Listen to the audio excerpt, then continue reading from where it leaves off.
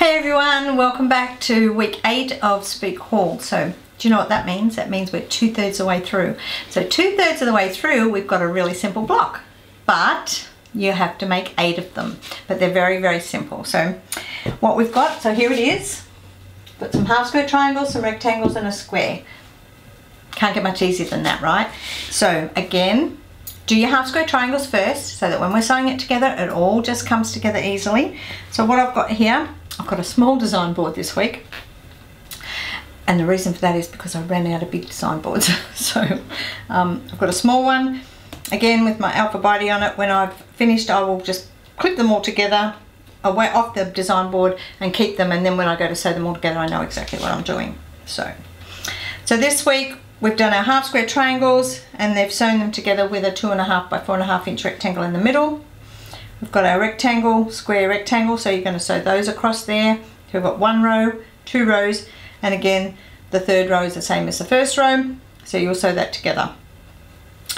And pretty much that's it. Then we're going to glue them together and we're going to sew them.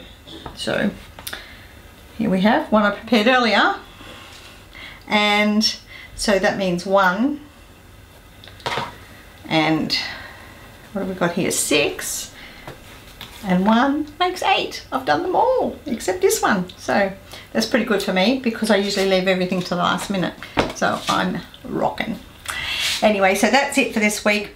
Just um, a simple, simple block, uh, eight of them. And if you get, get it all cut out, you're gonna have this sewn up in no time at all.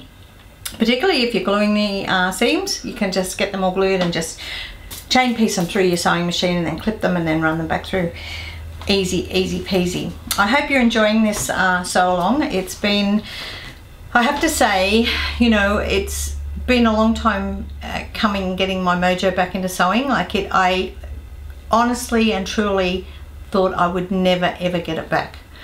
But um, you know the the last sew along I did you know, I sort of eased into that and, and it was a little bit helpful. This has been much better. I guess it's because it is a dedication, you know, to my late husband and it's given me the inspiration to get on and do it. So, um, and knowing that you guys are all out there doing this and the comments that we get and the emails that I get just keeps me going. So, you know, it's time for me to start you know, walking my new life and enjoying it, getting back into doing the things that I love to do. And um, and I you know I honestly do have all of you to thank for that because you've been so supportive over the last while for me. And um, I'm going to get all emotional but I'm not going to. Anyway I'm going to see you all next week. So enjoy the journey and I will talk to you next week when we're doing block 9